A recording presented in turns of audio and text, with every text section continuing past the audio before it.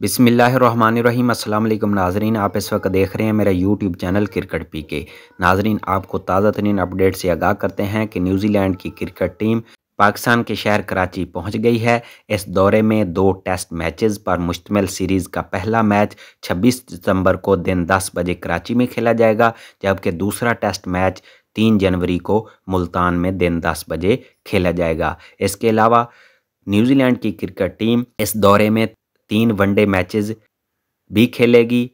One day series का पहला match 10, 12 और 14 जनवरी को कराची में खेला जाएगा। ये तीनों वनडे मैचेस पाकिस्तानी वक्त के मुताबिक दिन अढ़ाई बजे खेले जाएँगे। पिछले साल जब न्यूजीलैंड की टीम पाकिस्तान के दौरे पर आई थी तो उसने स्कोटी का इशू बनाकर दौरा मुलतवी कर दिया था। नाजरीन ये थी मेरी ताज़ा तरीन अपडेट।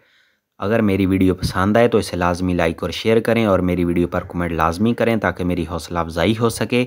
नेक्स्ट अपडेट तक मुझे दें इजाज़त। अल्लाह हाफिज़।